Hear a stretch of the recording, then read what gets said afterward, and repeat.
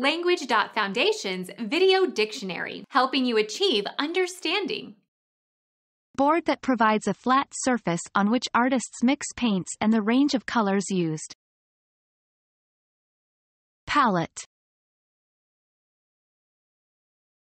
The range of color characteristic of a particular artist or painting or school of art.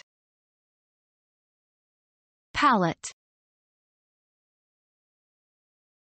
A hand tool with a flat blade used by potters for mixing and shaping clay. A mattress filled with straw or a pad made of quilts. Used as a bed. A portable platform for storing or moving goods that are stacked on it.